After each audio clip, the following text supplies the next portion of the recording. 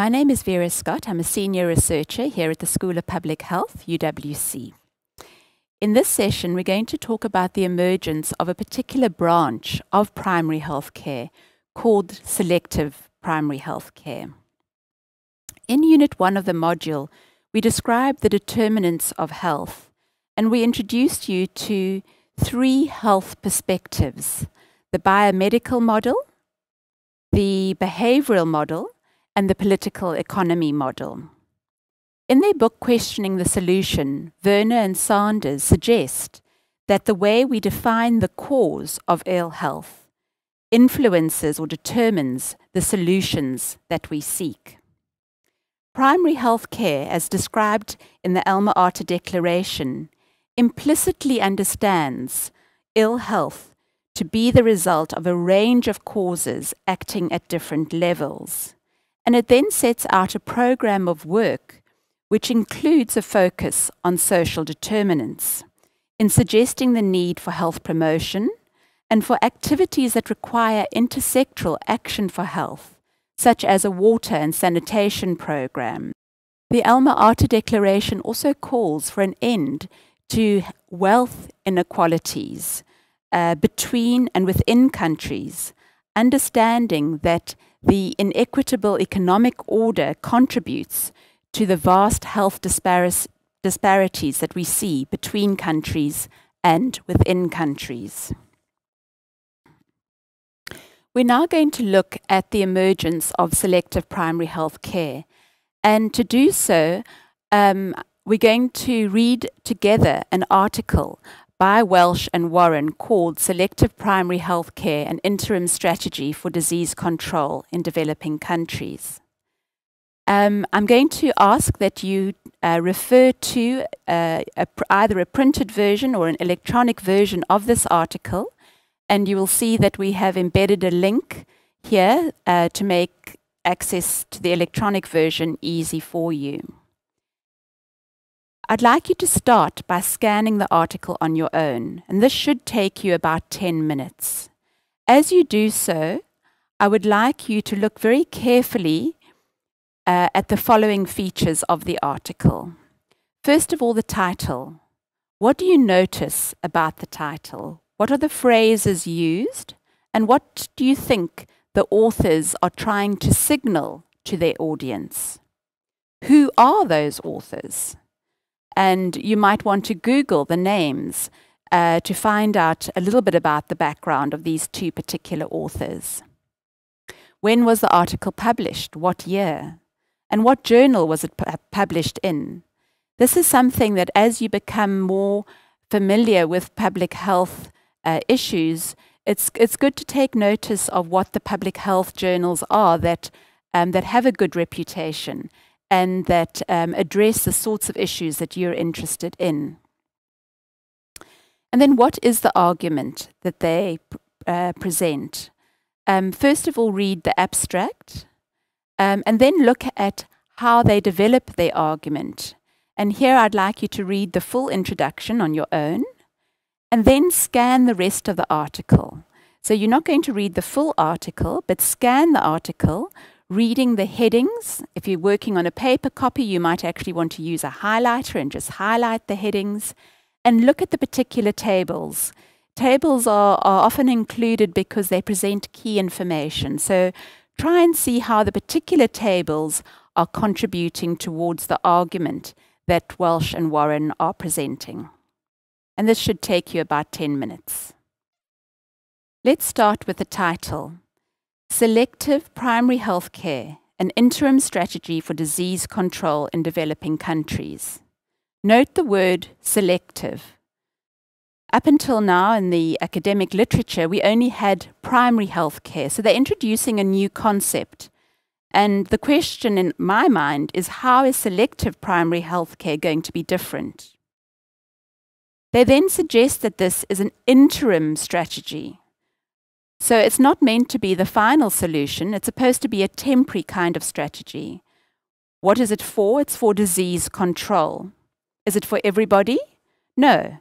It's for those living in developing countries. The authors of the paper are Julia Walsh and Kenneth Warren. Julia Walsh at that time was working for UNICEF, the United Na- uh, Nations Children Fund, and Kenneth um, Warren was with the Rockefeller Foundation, Rockefeller Foundation, uh, working in their health systems unit, and he had a particular interest in infectious diseases, tropical diseases as they were called in those days. The article is published in the New England Journal of Medicine, so it's a prestigious public health publication and it was published in 1979. How is that significant? 1979. It's the year after the Alma Ata Declaration. So in 1978, we have the Alma Ata Declaration, which sets out the principles of primary health care. And the very next year, we have a, a very influential publication which introduces the notion of selective primary health care. Now let's turn to the abstract. The abstract sets out a set of criteria for prioritizing certain infectious diseases. And then it says that it will, in this, that this article will compare a selective approach to these particular diseases versus other approaches. The introduction talks about the 3 million people in the less developed world who suffer from a plethora of infectious diseases. Because these infection, infections tend to flourish at the poverty level, they're an important indicator of the vast state of collective ill health. So it's beginning to identify the burden of disease. Notice that it's only looking at the infectious diseases, it's not looking at non communicable diseases uh, or injuries. But in the 1970s, the infectious diseases were still um, the major burden um, in developing countries. And it then gives us an economic argument um, for actually addressing disease. The concomitant disability has an adverse effect on agriculture and industrial development, and the infant and child mortality inhibits attempts to control population growth. So this was the area, the era when population growth and development were being debated. And, um, and there was a concern that developing countries would never be able to, to catch up um, in their development status because of um, the high fertility rates and, um, and, and sharp increases in population growth. They then put forward, having described the problem, they then put forward the best solution. What can we do to help alleviate a nearly unbroken cycle of exposure, disability, and death? The best solution, of course, is total primary health care for every human being. And they go on to quote the Alma Ata, saying what it encompasses. In the next paragraph, this, they say, the goal set at Alma Ata is above reproach. Yet it is its large and laudable scope that makes it unattainable in terms of prohibitive cost and the number of trained personnel required. So, although this is the approach we want, it's simply not possible. That's the argument that they're beginning to make. In the next paragraph, they argue that absolute poverty is here to stay. Absolute poverty is a condition of life so characterized by malnutrition, illiteracy, disease, high infant mortality, and low, low life expectancy as to be beneath any reasonable definition of human decency. How then, in an age of diminishing resources, can we best attempt to secure the health and well being of those trapped in this poverty? And by diminishing resources, they're referring to the oil crisis in the 1970s, um, which, um, which brought about a global economic recession.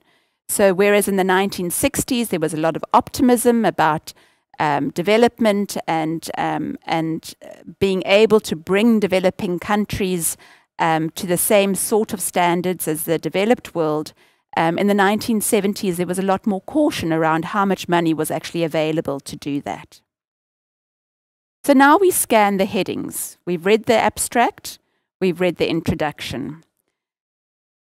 The first heading is the nature of collective ill health. And again, it describes the infectious disease burden. Um, it also describes just how overwhelming this all is. The next heading is around establishing priorities for health care. And, um, and in doing that, it suggests that we need to establish what those priorities are and that we have certain options for intervening. And it sets out five options total primary health care, basic primary health care, multiple disease control through horizontal programs, vertical programs of selective primary health care, which is what this article is about and what, it, what it's promoting, and then the last option, research into diseases, so that if there currently isn't uh, a treatment or it's too costly, we need to research that in order to bring the cost down and make it possible to treat. In the next paragraph, the heading is Targeting Diseases for Control, and they set out a set of criteria that can be used to, to target. Um, and there are four criteria. The first is prevalence, uh, how common is the disease and, um, and what proportion of the population um, are affected. Uh, the second is morbidity or severity of disability. So, what effect does this disease have on the population? How sick does it make the population? The risk of mortality, which is the risk of dying from the disease. And then the feasibility of control. How possible is it actually to control this disease?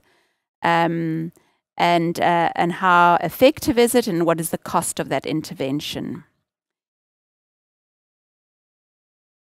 They then apply these criteria and, um, and in table one, they give an example of what it would look like if one used the criteria to prioritize which diseases should be targeted. They give three examples. The first example, if you read table one, is Lassa fever. Its prevalence is unknown, but it's thought to be low. At least this was in the, in the 1970s. Its mortality rate, however, was extremely high 30 to 60%. Morbidity was moderate.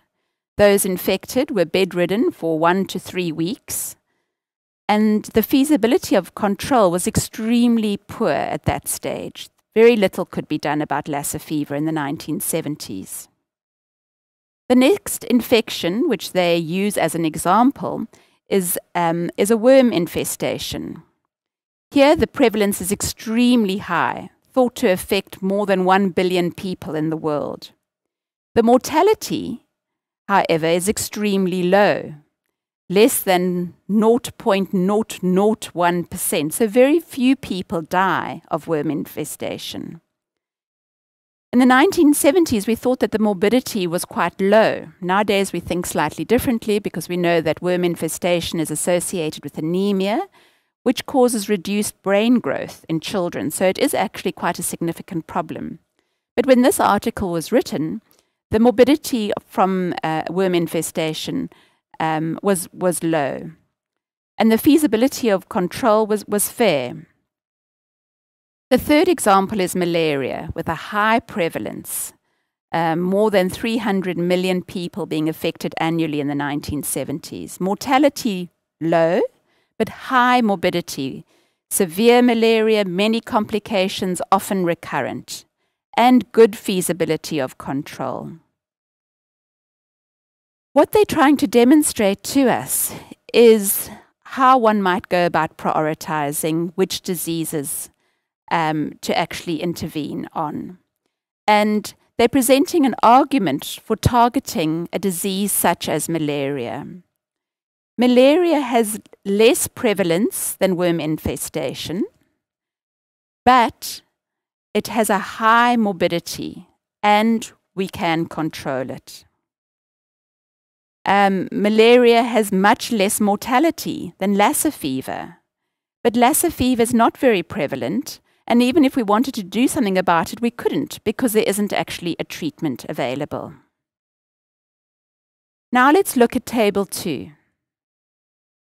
In table two, they've taken the four criteria for prioritization and they've, uh, they've applied it to the diseases found in the developing world. And on the basis of this set of criteria, they've identified high priorities, which are diarrheal disease, malaria, um, whooping cough, bilharzia, and neonatal tetanus. And they give the reasons for this. These are conditions with high prevalence, high mortality, or high morbidity, and effective control is possible. Let's carry on looking at the headings. On the next page, you will see that they then have a major heading, evaluating and selecting medical interventions. And then there are a number of, of, um, of subheadings. What they're doing in this section is that they're, um, they've created a, a model for a developing country in Africa with a typical population. It's a rural um, population, uh, 5,000, uh, sorry, 500,000 people. And they're then costing different packages of care offered to this population and they're comparing the different packages. So they then start by comparing total primary health care, where everybody receives whatever care they require, with what they, with what they term basic primary health care. Um, and this is something that, um, that David Sanders uh, speaks about in, a, in, a, in a, one of the earlier presentations. Um, if you turn the page, they then look at the cost of horizontal multiple disease control. Um, and part of that would be vector control. So, not just taking out one vector, which is responsible for one disease, but working across a number of different vectors, which are responsible for a range of infectious diseases. And they cost that. They give examples and they cost that. Um, they then look at water and sanitation programs and what can be expected in terms of return on investment. Uh, and they look at nutrition supplementation. They make quite an interesting argument um, uh, in this section on nutrition supplementation. Uh, they point out that malnutrition is an underlying or associated cause of many deaths from all infections in children. And so there's a cycle between uh, being malnourished and being susceptible for infection. Uh, an infection also predisposes you to malnutrition. But instead of then suggesting that we need to address infectious disease in children and malnutrition, they suggest that it might be possible to break the cycle by just addressing the infection, which will then not predispose to as much uh, malnutrition uh, forgetting that malnutrition is going to be very prevalent in any community uh, with high levels of poverty and, uh, and is probably going to be um, is going to thwart their efforts to reduce infection. Um, the next heading is they look at categorical disease control. And, uh, and here they're looking at trying to, to wipe out endemic disease um, uh, looking at um, uh, things such as water and sanitation programs. And they conclude it's actually quite wasteful to provide water and sanitation uh, because it's difficult to do, and, um, and one also has to have behavioral programs in order to uh, get populations and communities to use the new water and sanitation programs. And finally, they look at what might be achieved through research. What they then co conclude is that at present, although comprehensive primary health care uh, is, is laudable, it's not actually feasible. And they present us with an economic argument for what they call the selective primary health care approach. So, what does a selective approach um, comprise of? It's selective in terms of three different parameters. It suggests that, um, that it's important to select which diseases to target.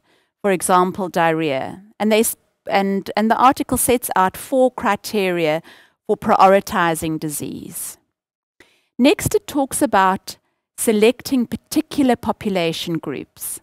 And um, in one of the examples in the, in the article, it talks about um, uh, trying to control infection in children under the age of three.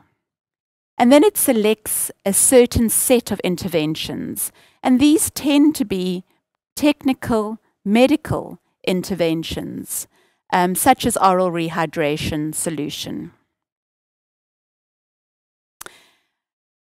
When this article was published, it, um, it stimulated a lot of debate. And, um, and many concerns have been raised about the selective approach. Um, people such as Ben Wisner wrote um, in the 1980s, and David Sanders and Fran ba Baum have also criticized the selective comprehensive approach, and some of these articles are, are in your reader. The selective primary healthcare paradigm reflects a strong medical focus. Um, it doesn't address the social determinants of health. Rather, what it does is that it selects interventions which tend to be either curative or preventative. And there's a danger that in selecting out interventions, um, we're not responding to a, a full understanding of causation of disease, which has to include the socioeconomic and political causes of the diseases. One of the questions that those of us who promote a comprehensive approach would ask is to what extent the selective approach upholds the principles of primary health care. Um, is it equitable? Does it give access to the most marginalized of population groups? And, um, and there we can say that the selective approach does suggest uh, targeting, um, which can identify those in, in greatest need. But often the selective approach has been applied in a way where the target is a very narrow age group and doesn't actually take into consideration um, the life cycles of, of people within communities and the interdependence of one age group on another age group. The comprehensive primary healthcare approach includes a focus on promotive and preventative, whereas the selective might pick up on some preventative interventions, but doesn't address the broad, broader causes of disease. Um, the primary healthcare approach, as we read it in Alma Ata, en encourages engagement with communities for empowerment. The selective approach um, does often engage with communities. Uh, if we think of immunization programs, for example, it's necessary to, to mobilize communities. But it's not mobilizing communities in order to give communities a stronger voice. It's often mobilizing communities to make communities compliant and accept the services that are being offered. The Alma Ata version of primary health care talks about the need for intersectoral action. And as we read in this article, um, this is not seen as being cost effective. Um, intersectoral action for health is difficult to cost because one intervention, such as water and sanitation, has multiple effects. So it will reduce disease. It will also reduce the amount of time that that girls and women spend collecting water, and that will have a positive spin off on female education, and that will have another positive spin off on, on child health. But that's quite complex to cost. So, the type of cost effectiveness studies that um, Walsh and Warren spoke about um, can really only be applied to actions which have a very direct health outcome um, not to the multiple health outcomes that some of the intersectoral action has. And then the last principle of, of, of um, a comprehensive primary healthcare approach is that it makes use of appropriate technology. And, um, and as we've seen in reading the article, what's being proposed is, is technologies which address um, uh, cure and, and prevention, but not necessarily ones which um, which address the social determinants of, of health. Selective primary health care actually became the main approach that was implemented in the 1980s and, and 2000s. Um, a very good example, and the first example of a large scale program based on the selective primary healthcare approach, was the UNICEF program, um, GOBI FFF. Uh, and some of you might be old enough to remember what this stands for. Uh, GOBI stands for Growth Monitoring, Oral Rehydration Solution, Breastfeeding, and Immunization. All very good interventions. Um, but this was a program which only offered these four interventions uh, and targeted children. And, uh, and UNICEF very quickly came to realize that this was not enough. Um, they were not going to improve the health of children, which was their main target, unless they also improved the health of women. And, um, and so we then have the FFF being added to the approach. Um, and it stands for female education, family planning, and food supplementation, recognizing the link between infectious disease and, and malnutrition. The selective primary healthcare approach is often, not always, but often uh, implemented in separate vertical programs. And, and these vertical programs have their own separate administration and management and supply systems. Um, a good example of this would be the immunization programs, which, which run as parallel programs to the health service. So they're doing extremely good work, they're immunizing children, um, but they are separate from the rest of the health service. And this can cause fragmentation. So a sick child comes in, can't be immunized, uh, but can also not be treated, has to be sent to another service to actually receive treatment. Um, and this again leads to inefficiencies for the staff and for clients. Um, the, the implementation of the selective primary healthcare approach through many vertical programs is something that we've been debating more recently in the context of HIV AIDS.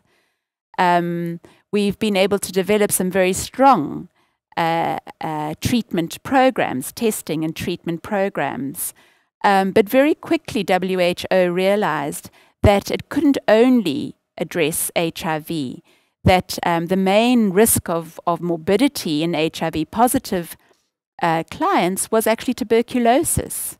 And so there's been a debate around how best to deliver programs. Should they be vertical or given very natural comorbidities, um, shouldn't we actually integrate programs? And um, and initially, the funders were reluctant to do this. It's much easier to fund a vertical program, to have complete control of that program, ensure that all the funding that goes in is being used towards the particular outcome that um, that one is hoping for. And uh, and funders were were very reluctant to actually support uh, integrated programs. But with time, that thinking changed, and um, and then we had uh, some very interesting debates around how a vertical program could be used to actually strengthen the general health system, um, what's been termed the diagonal approach to health system strengthening. Um, the horizontal approach, where, um, where a number of programs and diseases are, are, are treated and uh, managed from one service platform, is not necessarily a comprehensive primary healthcare approach.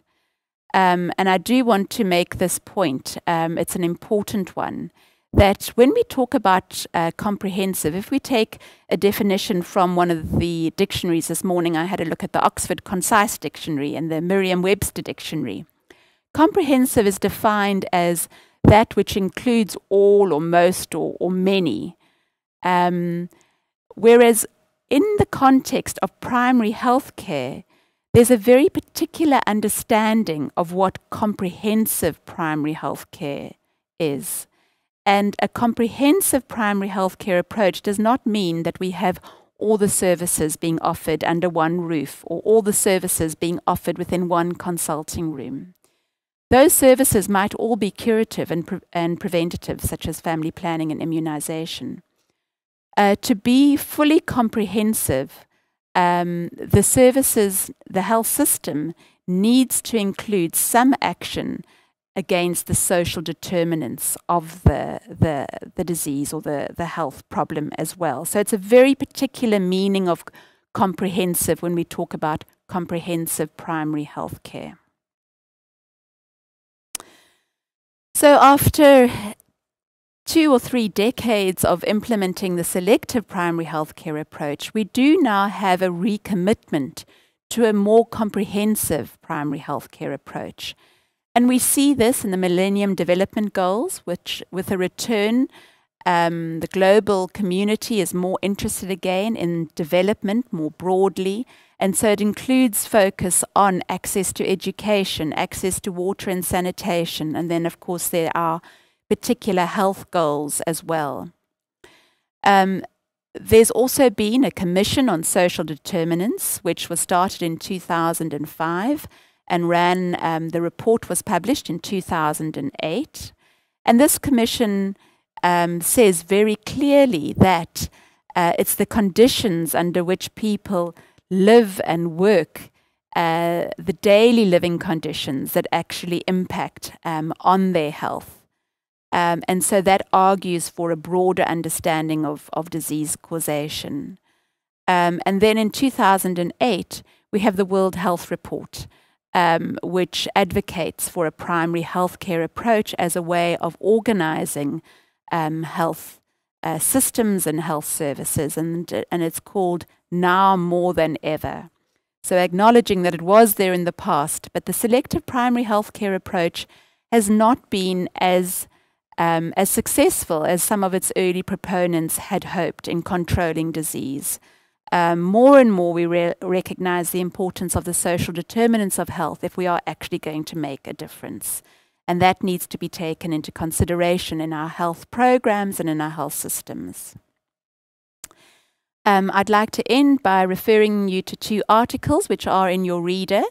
Um, these come from a Lancet series which looked uh, at primary health care. The series was called Alma Ata Rebirth and Revision. Uh, it was published in 2008. Um, the first article in the series was written by Lawn and colleagues, and it looks at 30 years on. The first uh, article in the series is by Lawn and colleagues, and, um, and it's entitled Alma Ata 30 Years On uh, Revolutionary, Relevant, and Time to Revitalize. And it presents a very good argument for a more comprehensive primary healthcare approach. Um, the fifth article in the series is also in your reader, and, and it highlights the importance of community participation um, and looks at lessons that this has for maternal, newborn, and, and child health. Thank you.